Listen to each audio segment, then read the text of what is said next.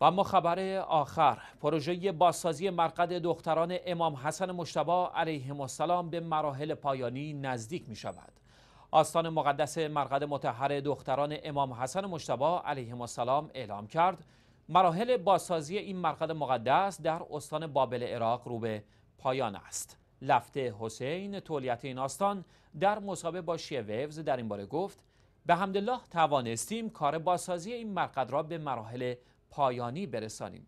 ما ضمن بازسازی این مرقد دو مناره به آن اضافه کردیم و مساحت کلی این حرم را به 400 متر مربع رساندیم. لفته تاکید کرد بودجه عملیات بازسازی مرقد متحر دختران امام حسن مشتبه علیه السلام تنها از طریق کمک ها و نظورات مردمی تامین شده و ان این پروژه به زودی به پایان خواهد رسید.